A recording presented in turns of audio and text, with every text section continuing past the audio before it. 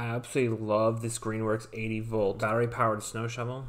For me, this is so much easier than hand shoveling. I got about 12 inches of snow here, and it is recommended to only use it in 6 inches, but as you can see, I think it does such a fantastic job in this. You just go by layers at first if it's too much for it.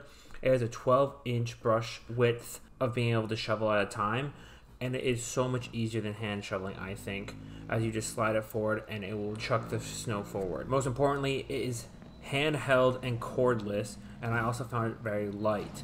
So this is way less effort I found than hand shoveling, and also the battery lasts a couple hours for me, which is fantastic.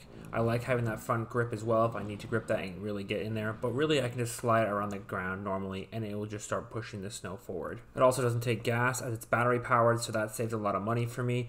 And the throwing distance is about 25 inches, so it's very easy, I think, to get the snow where you need it to. Also, I found it doesn't need no preheat, so I can just turn it on and start shoveling right away, which is absolutely fantastic for me.